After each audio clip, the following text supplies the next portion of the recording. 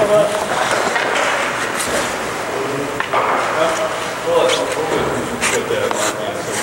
me get uh, you guys to switch to